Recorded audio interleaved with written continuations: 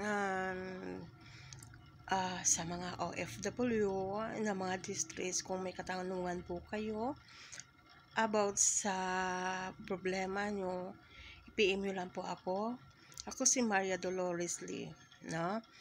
Um, yung mga distress po, mga distress po na umuwi, um, may makukuha po kayong 20k. Totoo po yun.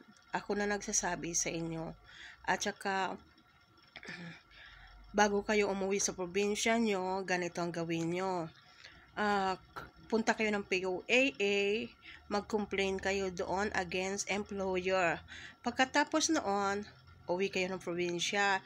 Ibigay nyo naman yun sa inyong uh, um, OWA province.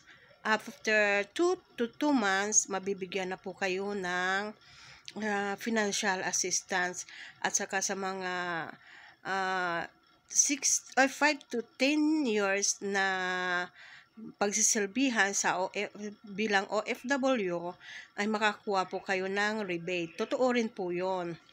So ngayon kung nahirapan kayo na makakuha or wala kayong mga papilis masyado, um, PM nyo lang po ako. At saka yung um, pwede lang po yung makakuha yung dumaan sa POA, dumaan sa UWA. Yung mga direct po, hindi po yun pinapayagan ng UWA at saka POA na bigyan sila ng financial assistance kasi wala po silang record doon.